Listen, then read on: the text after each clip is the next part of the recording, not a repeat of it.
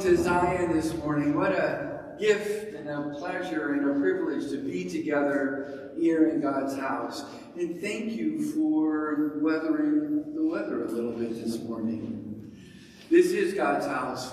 He invites us into his presence. He is here with open arms to speak to us, to forgive us, to feed us in the sacrament, to bless us with mercy and grace. And we are eager to, to receive all of that from him as we prepare our hearts this Advent season for our Lord's coming.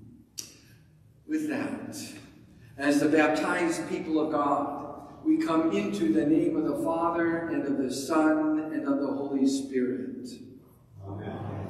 The Lord be with you. Let us pray. Together, stir up our hearts, O Lord, to make ready the way of your only begotten Son, that by his coming we may be enabled to serve you with pure minds. Through the same Jesus Christ our Lord, who lives and reigns with you and the Holy Spirit, one God, now and forever. Amen. Beloved, in the wilderness, prepare the way of the Lord. Make straight in the desert a highway for our God. Seek the Lord in his strength, and seek his presence continually. Remember the wondrous works he has done his miracles, and the judgments he uttered, O offspring of Abram his servant, children of Jacob his chosen ones. He is the Lord our God, his judgments are in all the earth. He remembers his covenant forever. In the wilderness, prepare the way of the Lord. Make straight in the desert a highway for our God. Seek the Lord in his. Seek his presence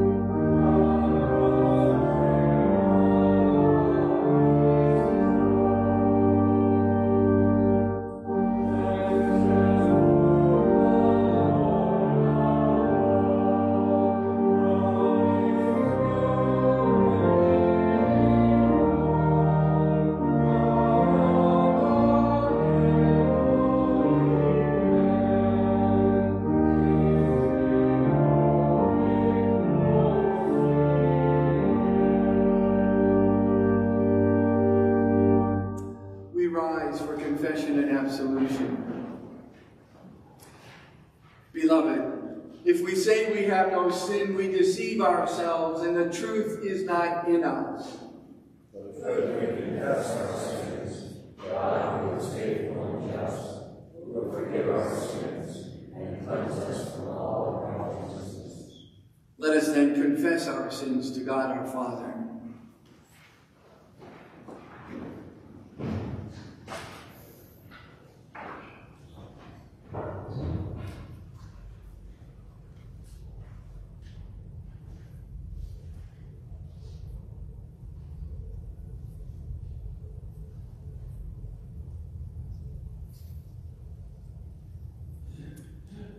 Most merciful God, we confess that we are by nature sinful and unclean. We have sinned against you in thought, word, and deed, by what we have done and by what we have left undone. We have not loved you with our whole heart. We have not loved our neighbors as ourselves. We justly deserve your present and eternal punishment. For the sake of your Son, Jesus Christ, have mercy on us. Forgive us, renew us, and lead us, so that we may delight in your will and walk in your ways to the glory of your holy name. Amen. In the mercy of Almighty God, Jesus Christ was given to die for us. And for his sake, God forgives us all our sins. To those who believe in Jesus Christ, he gives the power to become the children of God and bestows on them the Holy Spirit. May the Lord who's begun this good work in us bring it to completion in the day of our Lord Jesus Christ. Amen. We rise and sing the entrance hymn.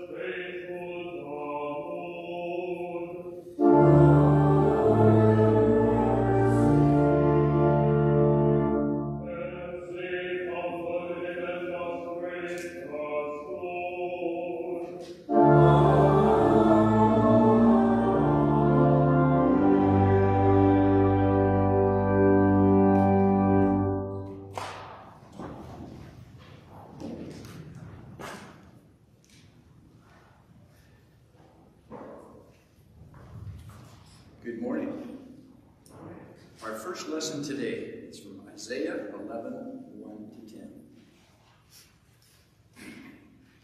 There shall come forth a shoot from the stump of Jesse, and a branch from his roots shall bear fruit. And the Spirit of the Lord shall rest upon him, the Spirit of wisdom and understanding, the Spirit of counsel and might, the Spirit of knowledge and the fear of the Lord.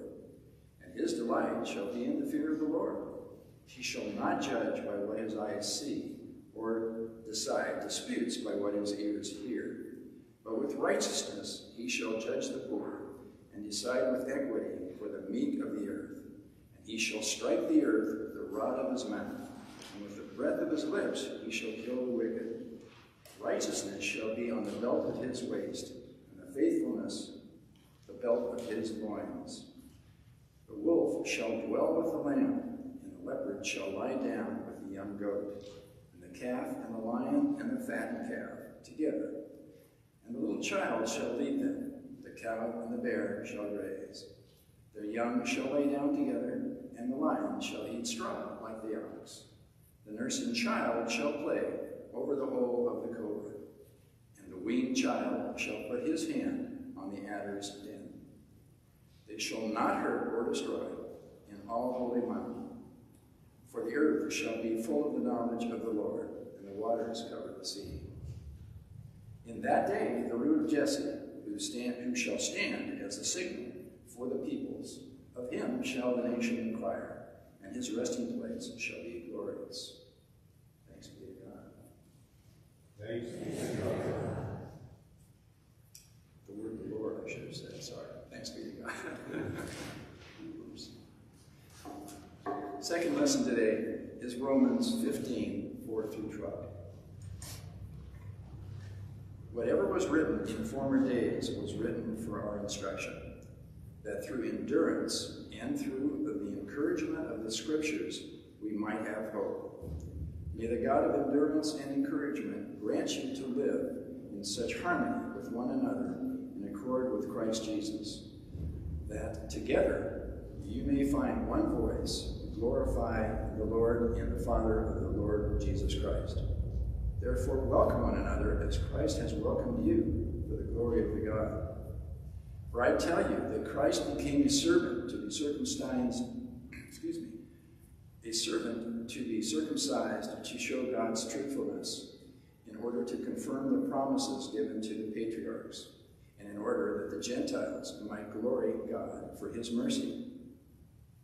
As it is written, Therefore I will praise you among the Gentiles and sing your name. And again it is said, Rejoice, O Gentiles, with his people.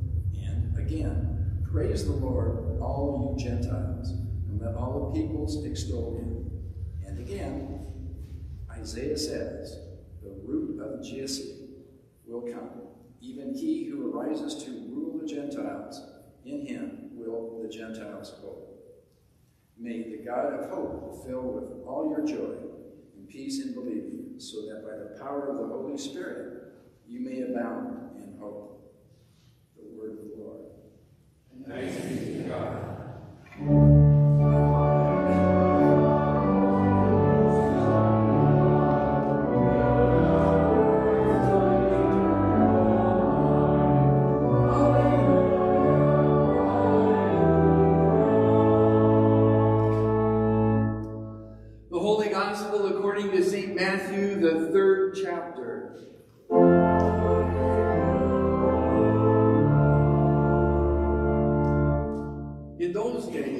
John the Baptist came preaching in the wilderness of Judea. Repent, for the kingdom of heaven is at hand.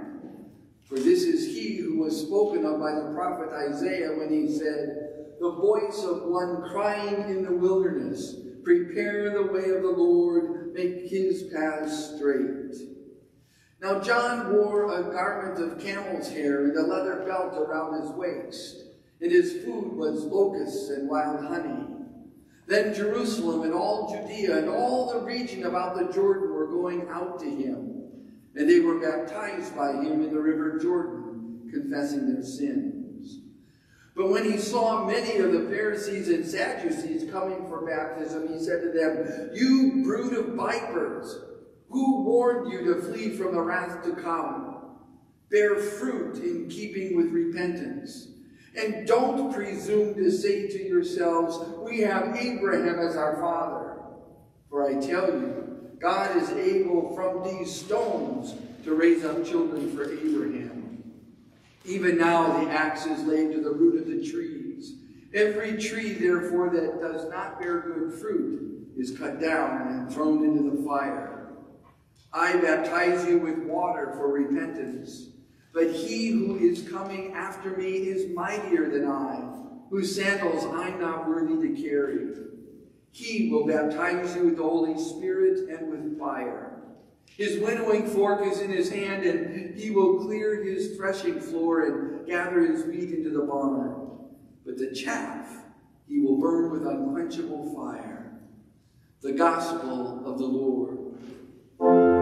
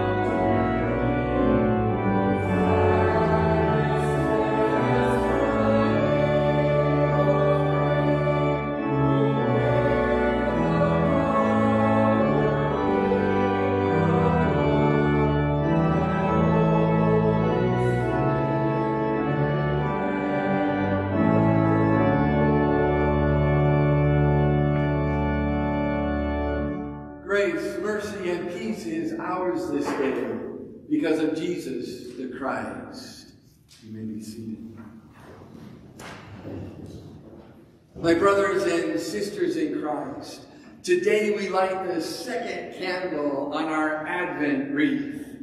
The light gets just a wee bit brighter as Jesus, the light of the world, draws just a little bit closer. And we continue our Advent journey this morning using the seven great old antiphons to guide our worship and our reflection. As I mentioned last Sunday, these great old antiphons are seven short prayers that have been prayed and sung as part of the Advent worship life of God's people for over 1,600 years. All seven of these ancient prayers begin with the word O and an Advent name for Jesus. O wisdom, O Lord, O branch of Jesse, O key of David, O morning star, O King of nations, and O Emmanuel. As I mentioned last week, by the 12th century, these great O antiphons became one of our most beloved Advent hymns. O come, O come, Emmanuel. Beloved, each of these seven prayers asks our Lord Jesus, who first came as the babe of Bethlehem, not only to come again in glory to judge the living and the dead, but to come into our world and into our lives right here, right now. Each of these seven prayers ask the Lord to answer right here, right now, in a powerful way, the second petition of the prayer our Lord himself taught us. Your kingdom come. Last Sunday, we focused our attention on the first two antiphons, Jesus our wisdom and Jesus our Lord. We prayed, O wisdom, proceeding from the mouth of the Most High, pervading and permeating all creation, mightily ordering all things, come and teach us the way of wisdom. And then we also prayed, O Adonai, and ruler of the house of Israel, who appeared to Moses in the burning bush and gave him the law on Sinai, come with an outstretched arm and redeem us. And now today, we focus our attention on the third and fourth antiphons. Jesus, branch of Jesse, and Jesus, key of David. So, beloved, let's dig deeper. Jesus, branch of Jesse. O root of Jesse, standing as an ensign before the peoples, before whom all kings are mute, to whom the nations will do homage, come quickly to deliver us. Our Old Testament reading this morning in Isaiah, the 11th chapter, highlights this Advent name of Jesus. A shoot will come up from the stump of Jesse. From his roots, a branch will bear fruit. The Spirit of the Lord will rest on him, the Spirit of wisdom and understanding, the Spirit of counsel and might, the Spirit of the knowledge and fear of the Lord. And he will delight in the fear of the Lord. He will not judge by what he sees with his eyes or decide by what he hears with his ears. But with righteousness, he will judge the needy. With justice, he will give decisions for the poor of the earth. He will strike the earth with the rod of his mouth. With the breath of his lips, he will slay the wicked. Righteousness will be his belt, and faithfulness the sash around his waist. Beloved, in the previous chapters of Isaiah, the Lord has spoken judgment against his people. Their kings and leaders have been corrupt. They've led God's people into idolatry. Their desire to be just like all of the other nations around them is bringing catastrophe upon the life of God's people. But here in our reading this morning, the Lord leaves behind his word of judgment and takes his people in a brand new direction. Here in our reading this morning, the Lord speaks words of promise. And these wonderful words of promise aren't just somewhere over the rainbow words of promise about another time or another place. No, beloved. The Lord speaks these wonderful words of promise both for Isaiah's listeners and for us. These wonderful words of promise tell us who God is and where God's taking us as his people, right here, right now. These wonderful words of promise show us a God who loves us, A God who does everything possible to save us. A God who turns our lives upside down, inside out, and then right side up. A God who pours into us his mercy and grace, transforming our lives and making all things new. Beloved, when Isaiah first spoke these words, David's family tree looked pretty bleak. There was nothing left but a dead stump. And even now, as we look all around us, we may find our own context looking rather bleak. So much of what we see around us looks just like that dead stump. But beloved, God is able to take a dead stump and bring out of it new life. A shoot will come up from the stump of Jesse. From his roots, a branch will bear fruit. And this wonderful word of promise finds its ultimate fulfillment in our Lord and Savior Jesus Christ. He's the tender shoot emerging from the dead stump. He's the righteous branch who bears rich fruit, abundant fruit that transforms your life and mine. He's the one upon whom the Spirit of the Lord rests. The spirit of wisdom and understanding, the spirit of counsel and might, the spirit of the knowledge and fear of the Lord. In John's Gospel, the first chapter, John, the forerunner, points to Jesus and says, Behold the Lamb of God who takes away the sins of the world. And then he says this about Jesus I saw the Spirit come down from heaven as a dove and remain on him. And Jesus himself, preaching in the Nazareth synagogue at the beginning of his ministry, said this The Spirit of the Lord is on me because he's anointed me to proclaim good news to the poor. He sent me to proclaim freedom for the captives and recovery of sight for the blind, to set the oppressed free, to proclaim the year of the Lord's favor. Today, this scripture is fulfilled in your hearing. Yes, beloved, Jesus is the branch of Jesse he doesn't judge us by what he sees or hears. If he did, all of our sins in thought, word, and deed would condemn us. No, beloved. He judges us in terms of his own righteousness. He lives the perfect life we can't. He dies the death we deserve. He leaves the grave behind empty, bringing new life, his life, into our lives. His righteousness becomes our righteousness. Beloved, he gives us his righteousness as a free gift of grace. Righteousness is his belt, and faithfulness the sash around his waist. And beloved, the gift of our Lord's righteousness makes all the difference in the world. The wolf will live with the lamb. The leopard will lie down with the goat. The calf and the lion and the yearling together. And a little child shall lead them. The cow will feed with the bear. Their young will lie down together. And the lion will eat straw like the ox.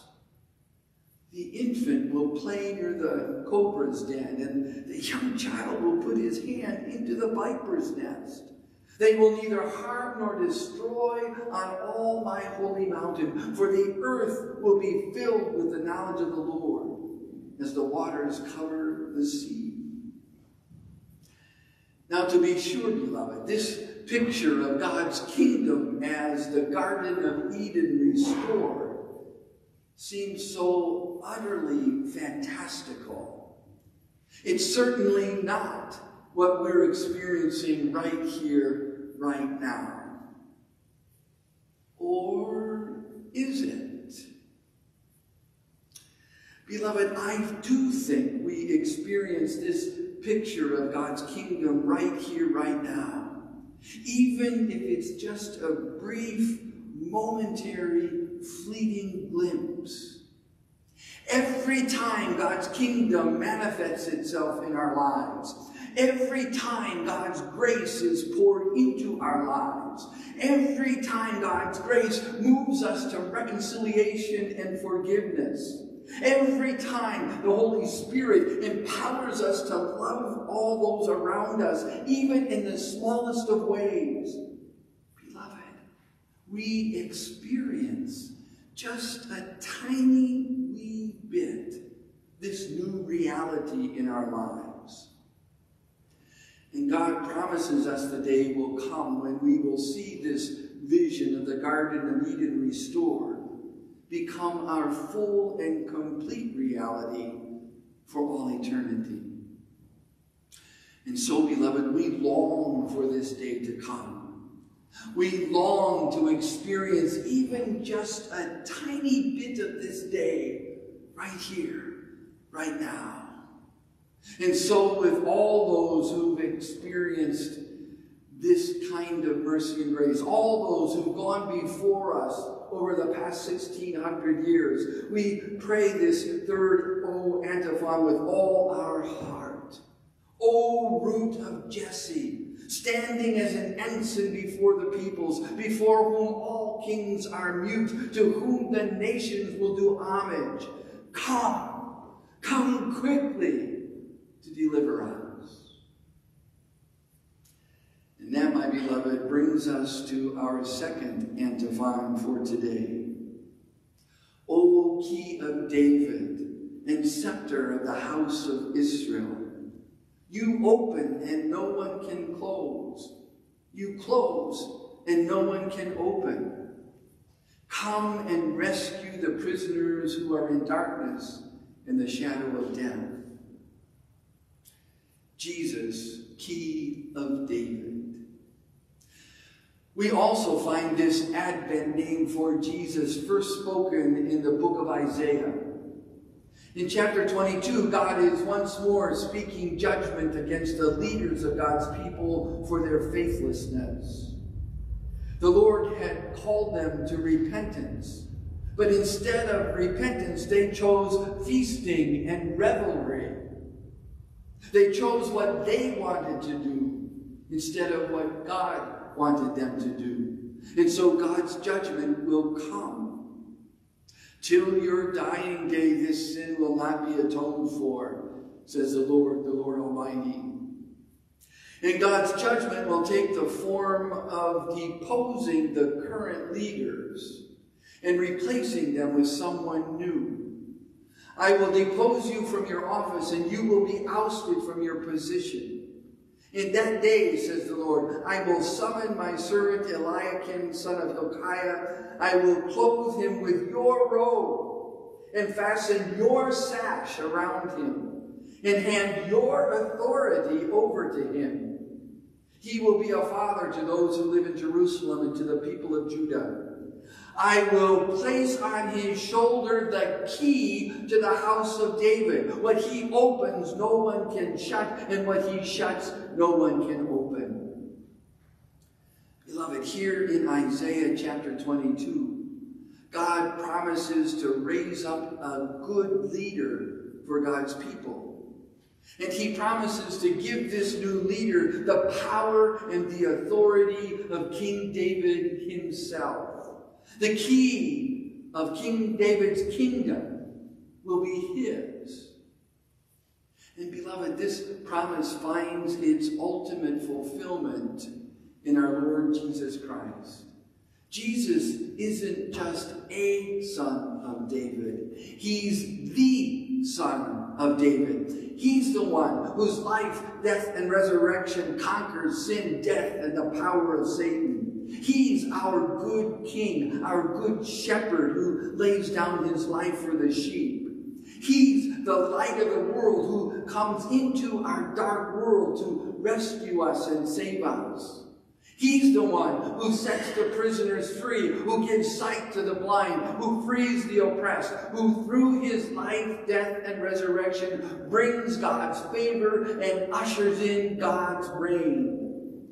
He's the one whom God himself has exalted to the highest place giving him the name that's above every name. That at the name of Jesus, every knee should bow in heaven and on earth and under the earth, and every tongue confess that Jesus Christ is Lord to the glory of God the Father. And beloved, He's the one whom John sees in his wondrous revelation. Listen to John describe what he saw. I turned around to see the voice that was speaking to me. And when I turned, I saw seven golden lampstands. And among the lampstands was someone like a son of man, dressed in a robe reaching down to his feet, and with a golden sash around his chest. The hair on his head was white, white like wool, as white as snow. And his eyes were like blazing fire. His feet were like bronze glowing in a furnace, and his voice was like the sound of rushing waters. In his right hand he held seven stars, and coming out of his mouth was a sharp two-edged sword. His face was like the sun in shining in all its brilliance. When I saw him, I fell at his feet as though dead. Then he placed his right hand on me and said, Stop being afraid. I am the first and the last. I am the living one. Behold, I was dead, and now I am alive forever and ever. And I hold the keys of death and Hades. Then just a little bit later, John hears Jesus speak to the church in Philadelphia. These are the words of him who is holy and true, who holds the key of David. What he opens, no one can shut, and what he shuts, no one can open. Oh, beloved, this is great good news for us. When Jesus locks away the power of sin, death, and Satan in our lives, no one, no one can open that door ever again. And when Jesus opens the door to his mercy and grace, forgiveness, life, and salvation, no one, no one can ever shut that door on us. We are his now and forever. And so, beloved, on this second Sunday in Advent, not only do we pray for Jesus, the branch of Jesse, to come and deliver us, we also pray for Jesus, the key of David, to come and rescue us who this side of heaven sit in death's dark shadow. Yes, beloved, we join all those who prayed this fourth great O antiphon across the centuries, praying with all our heart for Jesus, key of David, to open for us what no one can close, and to close for us what no one can open. We pray with all our heart for Jesus, key of David, to close tight all of Satan's accusations against us and to open for us the way to everlasting life. O key of David and scepter of the house of Israel, you open and no one can close. You close and no one can open. Come, come and rescue the prisoners who are in darkness in the shadow of death. Amen. Amen.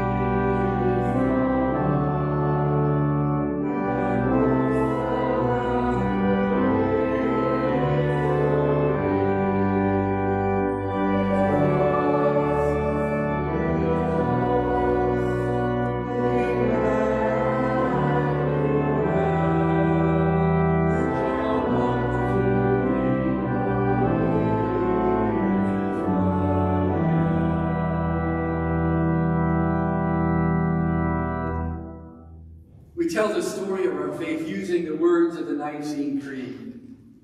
I believe in one God, the Father Almighty, maker of heaven and earth, and of all things visible and invisible, and in one Lord Jesus Christ, the only begotten Son of God, begotten of his Father before all worlds, God of God, light of light, very God of very God, begotten, not made, being of one substance with the Father, by whom all things were made, who for us and for our salvation came down from heaven, and was incarnate by the Holy Spirit of the Virgin Mary, and was made man, and was crucified also for us under Pontius Pilate. He suffered and was buried. And the third day he rose again according to the Scriptures, and ascended into heaven, and sits at the right hand of the Father and he will come again with glory to judge both the living and the dead, whose kingdom will have no end. And I believe in the Holy Spirit, the Lord and giver of life, who proceeds from the Father and the Son, who with the Father and the Son together is worshipped and glorified, who spoke by the prophets. And I believe in one holy Christian and apostolic church. I acknowledge one baptism for the remission of sins, and I look for the resurrection of the dead and the life of the world to come. Amen. Beloved, let's pray for the whole people of God in Christ Jesus and for all people according to their needs.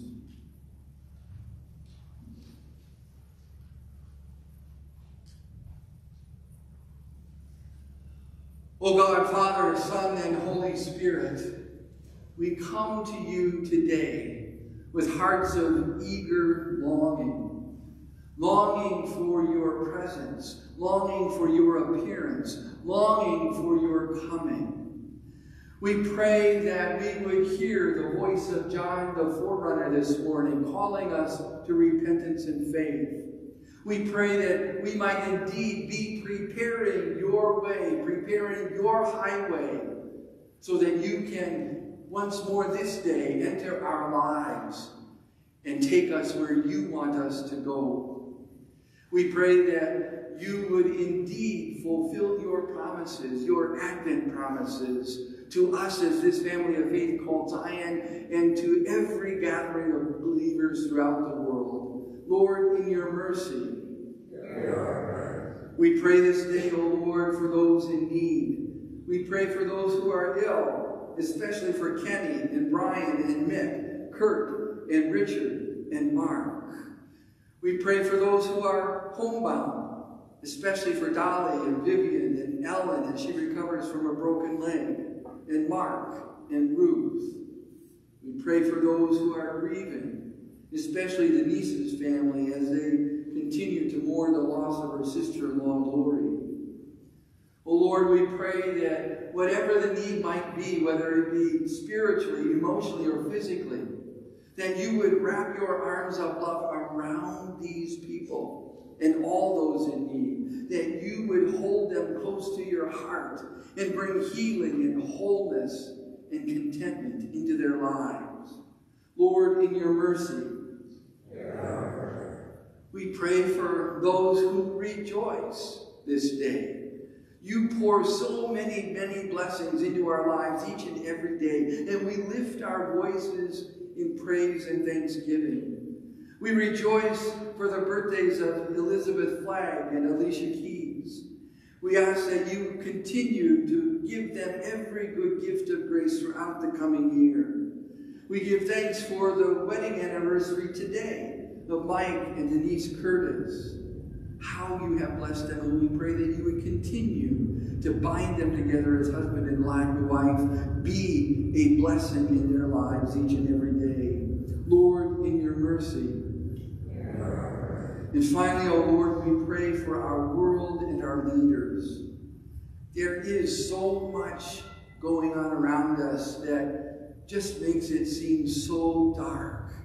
And so we need you, Lord, to shine your light into our dark world. Open our eyes, open the eyes of everyone in in our readings this morning, we heard, or in that that that uh, oh antiphon, we heard this morning that that all kings, all leaders will stand before you mute, and all nations will bow in homage to you. And we pray that that would indeed come to pass, that your light would shine brightly in our world, and all people come to know your mercy and grace. Lord, in your mercy, into your hands, O Lord, we commend all for whom we pray, trusting in your mercy through your Son, Jesus Christ, our Lord.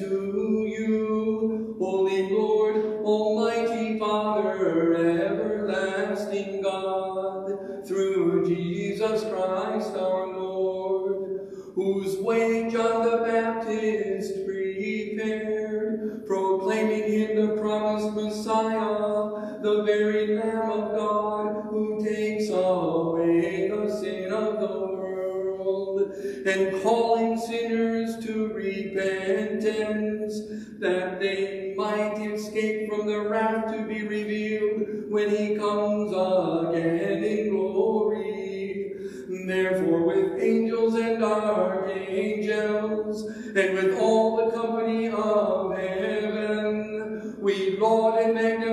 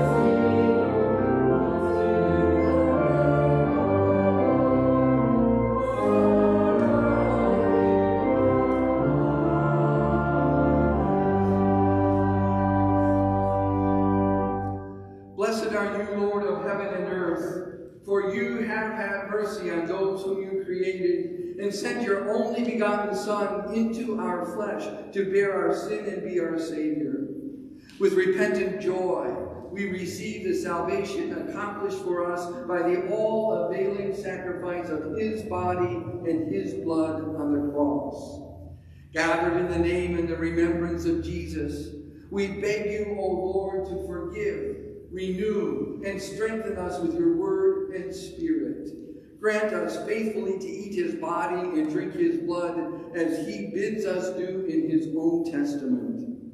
Gather us together, we pray, from the ends of the earth to celebrate with all the faithful the marriage feast of the Lamb in his kingdom, which has no end. Graciously receive our prayers, deliver and preserve us. To you alone, O Father, be all glory, honor, and worship with the Son and the Holy Spirit, one God, now and forever. Amen. Lord, remember us in your kingdom and teach us to pray. Our Father, who art in heaven, hallowed be thy name. Thy kingdom come, thy will be done on earth as it is in heaven. Give us this day our daily bread and forgive us our trespasses, as we forgive those who trespass against us. And lead us not into temptation, but deliver us from evil. For thine is the kingdom, and the power, and the glory, forever and ever. Amen. Beloved, our Lord Jesus Christ, on the night he was betrayed, took bread. And when he had given thanks, he broke it and gave it to his disciples, saying, Take, eat. This is my body, which is given for you. Do this to remember me. In the same way also, he took the cup after supper. And when he had given thanks, he gave it to them, saying, Drink of it, all of you. This cup is the new covenant in my blood, shed for you and for all people for the forgiveness of sins. Do this as often as you drink it to remember me. Beloved, as often as we eat this bread and drink this cup, we proclaim the Lord's kingdom until he comes. Amen. The peace of the Lord be with you always.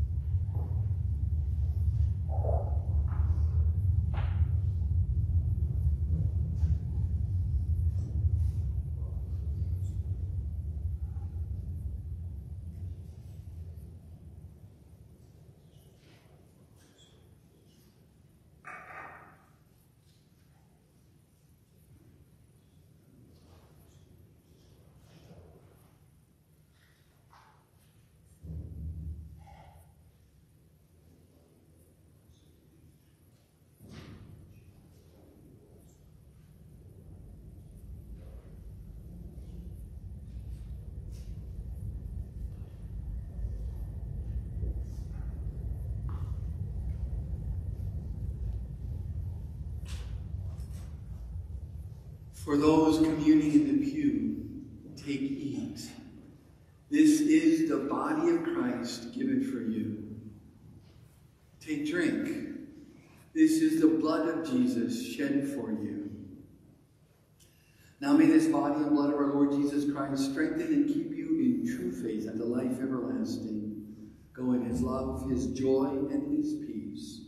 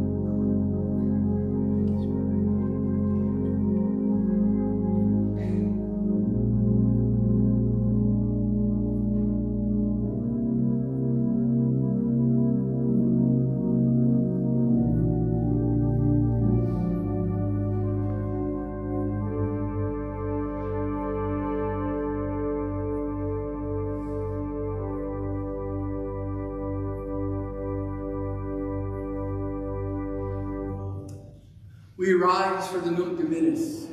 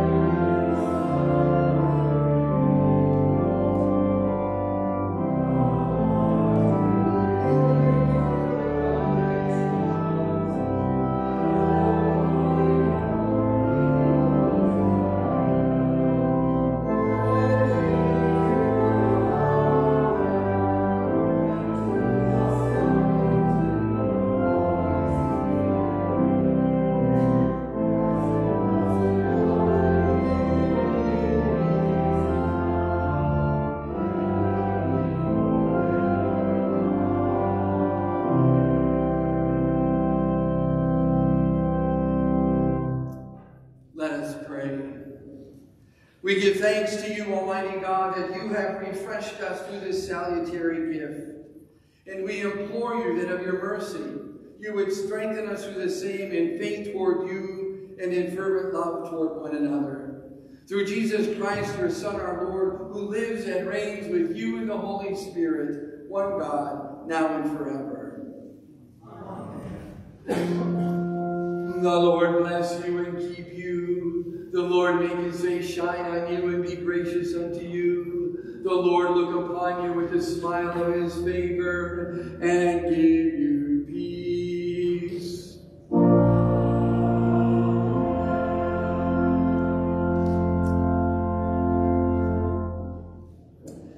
Just a couple of announcements this morning. First, this coming Thursday, the 8th at 11 a.m., we're going to have a bit of a celebration of life for Irene and Lacey Hall. Um, and several people have been asking for some kind of remembrance. It'll be a bit informal, not a formal funeral. It'll be a time to gather in, in prayer and thanksgiving and a time to share some words of resurrection and a time to share memories. So those of you who are interested, please, please feel free to join us. And there will be a light reception in the fellowship hall after. Also, next Sunday, right after church, is the Christmas dinner. If you haven't gotten your tickets yet, please see Steve or some of the other folks who have them. We very much want to celebrate Christmas together over food, our entire Zion family. Tickets are just $5.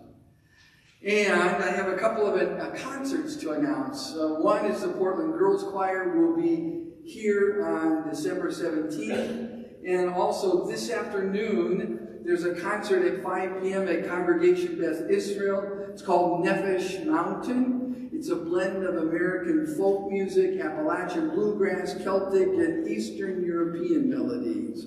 Sounds a little bit interesting, doesn't it? Any other announcements this morning? Yes. So on Tuesday, we have the, um, the luncheon for the Zion Guild. And I, I just wanted to say, if you're planning on coming, and you don't usually come, um, you're welcome, and we welcome you. But I also would ask if you would get a hold of Lisa and let her know so we don't and prepare for it. So if you're coming to the luncheon, let us know so we have enough food, right? Any other announcements? If not, we rise for the sending hymn, and all the world was cursed.